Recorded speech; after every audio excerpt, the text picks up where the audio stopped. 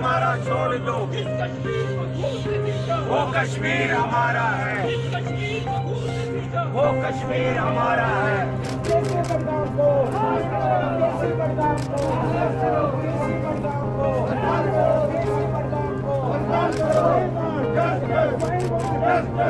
जो हमारा कश्मीरी पंडित, एक युवा, जो वहाँ पर पैकेज एम्प्लॉयज़ में काम करता था, उसकी निर्पम हत्या की गई।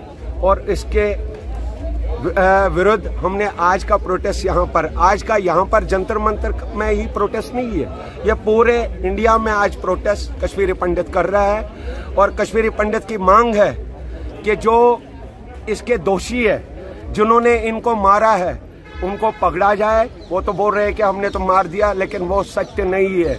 जब तक उन मिलिटेंटों को फांसी के तख्ते पे नहीं चढ़ाया, तब तक कश्मीरी पंडित नहीं बैठेगा चुप करके।